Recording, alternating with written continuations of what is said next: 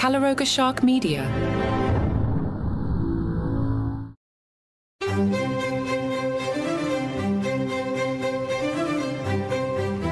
Hello and welcome to Palace Intrigue. I am your host, Mark Francis. J. Edgar Hoover, the former head of the FBI, sensationally suggested that Prince Philip might have been involved with two women central to the Profumo sex scandal. Hoover relayed this claim in a cable to the US Embassy in London, noting that Prince Philip was purportedly connected with both Christine Keeler and Mandy Rice Davies. This cable, sent over 60 years ago, was uncovered in the US Department of Justice archives following a protracted Freedom of Information request. The allegation originated from Thomas Corbally, an American businessman engaged in industrial espionage and a friend of Stephen Ward, the figure at the heart of the scandal. Ward, an osteopath, introduced Keeler, then a 19 year old model, to John Profumo, the Secretary of State for War. The ensuing affair forced Profumo to resign and nearly toppled Harold Macmillan's government. Hoover's cable, obtained by the Mail on Sunday, quotes Corbally. Corbally also stated there was a rumor Prince Philip may have been involved with these two girls. This diplomatic communication, dated June 20th, 1963, has reignited speculation, partly fueled by the Netflix series The Crown. In the show, Anthony Blunt, later revealed as a Soviet spy, threatens to expose Prince Philip's relationship with Ward, which had been portrayed as dramatized but highly popular. The suggestion of Prince Philip's potential link to Keeler and Rice Davies is unsettling on both sides of the Atlantic. Hoover, who led the FBI and its predecessor from 1924 until his death in 1972, was notorious for his extensive surveillance and wiretapping of powerful individuals, often accused posthumously of abusing his authority. The notion that Prince Philip, who passed away at 99 in 2021, might have been entangled in Hoover's operations would have strained Anglo US relations during the Cold War. Reports previously indicated that Prince Philip and Ward were acquaintances, possibly sharing membership in a London club. Anthony Blunt, the surveyor of the Queen's pictures, was allegedly involved in acquiring every sketch of the royal family by Ward when they were exhibited in a London gallery. Ward was arrested and charged with living off the earnings of prostitution. He overdosed on sleeping pills during his trial, was convicted in absentia, and died before sentencing. Keeler, introduced to Profumo by Ward at a 1961 party at the Cliveden estate, was also romantically involved with Yevgeny Ivanov, a Soviet spy. The explosive revelations surrounding Keeler, Profumo, and Ivanov were too scandalous for Profumo's political career to endure ultimately engulfing the conservative government in controversy. Princess Eugenie recently displayed her playful sense of humor during a conversation with British artist Jake Grewal as part of the Artists in Conversation series for the Yale Center for British Art. While discussing his artistic techniques, Grewal mentioned he sometimes draws in a trance like state, joking, where we could just kind of like whip out like a nude without even looking at the figure, you know? This elicited a cheeky response from Princess Eugenie, who laughed and quipped, I love that. Whip it out. Grewal, joining in the humor, replied, Yeah, like, literally. This rare and light-hearted moment occurred as Princess Eugenie continues to champion British art in her role as director of Hauser and Wirth. She is engaging in a series of artists in conversation events which bring together curators and artists to discuss their practices and insights. Despite her recent high profile activities, including supporting her cousin Prince William at a Buckingham Palace garden party, it remains unlikely that Princess Eugenie will become a full time working royal.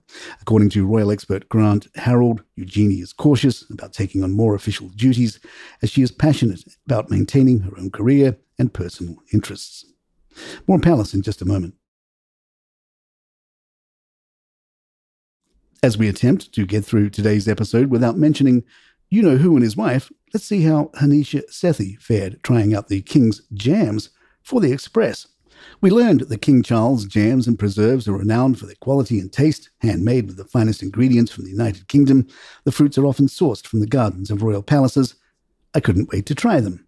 After exploring an impressive selection at the Royal Collection shop and a visit to the Buckingham Palace shop in central London, Hanisha chose to test the following jams and preserves orange and whiskey marmalade from the Palace of Holyrood House, Scottish heather honey from Balmoral Estate, lemon marmalade with gin and juniper berries from Buckingham Palace, Buckingham Palace orchard fruits, and Buckingham Palace strawberry preserve.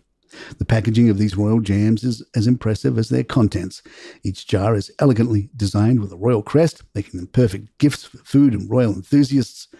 The labels are simple yet sophisticated, reflecting the royal brand's emphasis on quality and tradition. Opening the jar of Orchard Fruits jam released a rich, fruity aroma that immediately made her mouth water. The deep, dark purple color promised a burst of flavor. This jam, made with English blackberries, plums, blueberries, and cherries, spread easily over clotted cream and fresh scones. The sharp, tangy flavor balanced perfectly with the sweetness of sugar, allowing the natural tartness of the blackberries to shine. It felt like eating fresh garden blackberries at their peak ripeness. Onto the lemon marmalade with gin and juniper berries. This distinctive marmalade, featuring hand picked botanicals from Buckingham Palace's garden, offers a bold twist on the classic orange marmalade. The inclusion of gin and juniper berries adds a unique, flavorful dimension. The lemon marmalade, with its chewy lemon rind, is perfect for those who enjoy bold, citrusy flavors with a grown up twist. It's a delightful, sophisticated take on a traditional favorite. A fan of natural honey, Hanisha eagerly anticipated the Scottish Heather honey, the jar's label featuring the unicorn, the national animal of Scotland, and the Scottish arms, added a special touch. This velvety aromatic honey, gathered from beehives on the heather rich moorland of the Balmoral estate, exudes a fragrant blend of floral and earthy notes. The orange marmalade with Scottish whisky combines sweet oranges with the warm, smoky notes of Scotch whisky. The whisky adds depth and complexity, elevating the citrus flavor and creating a rich, slightly alcoholic spread. The thick cut orange pills provide a satisfying bite, complementing the smooth, jelly like base. This robust and hearty marmalade is ideal for those who enjoy substantial spreads. And don't overlook the Buckingham Palace Strawberry Preserve. Each spoonful of the strawberry jam captures the essence of summer with its vibrant, sweet flavor. While delightful, it tasted similar to other strawberry jams on the market and was slightly on the sweet side. It works best when used sparingly on scones or as a thin layer with buttercream in a sponge cake. The texture, however, felt homemade, making it a simple and reliable choice for afternoon tea. Overall, in a market crowded with royal related jam options, King Charles' selection of royal jams stands out as luxury items. They offer a royal experience with their unique flavors, quality ingredients, and elegant packaging, making each jar a delightful indulgence. As far as we can tell, His Majesty has yet to expand his offerings to the world of dog biscuits. Unlike some other famous people in royal circles, King Charles is said not to be a monster to work for. An unnamed former employee shared insights with the Daily Beast about working for King Charles and Queen Camilla. Ultimately, people like working for him, but everyone is under a lot of pressure because his office is incredibly busy. He's absolutely not a monster in the office, but he is a human, and he snaps sometimes. Unfortunately, there is sometimes a camera on him when it happens. The ex employee emphasized that King Charles is extremely well prepared as an employer and does not suffer fools. They added, in fairness to him, as anyone who has actually worked with him will tell you, he himself is always extremely well prepared, well read on the subject matter of people he meets, and is working with diligent and respectful of expertise. A Samoan beach resort set to host King Charles during his October tour is hastily upgrading its outdated rooms in preparation for the royal visit. The four star hotel, unnamed for security reasons, has received £85,000 in government funding to enhance its facilities, as reported by The Telegraph. Last week, Buckingham Palace confirmed that His Majesty will be visiting the Polynesian island as part of his autumn Commonwealth tour, which includes stops in Australia and Samoa. The royal couple is expected to stay in the hotel's presidential suite, with a significant portion of the funds allocated to refurbishing the suite and improving the driveway. Prince George celebrated his 11th birthday on Monday, and Kensington Palace unveiled a new photograph of the young prince to commemorate the occasion. The photograph, captured by Kate at Windsor earlier this month, was shared on Kensington Palace's social media platforms. The black and white image shows Prince George looking mature and poised, dressed in an open necked white shirt and dark blazer, smiling warmly at the camera. And there you have it.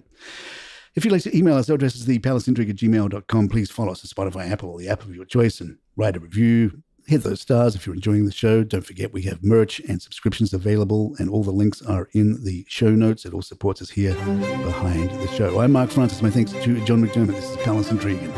Good times.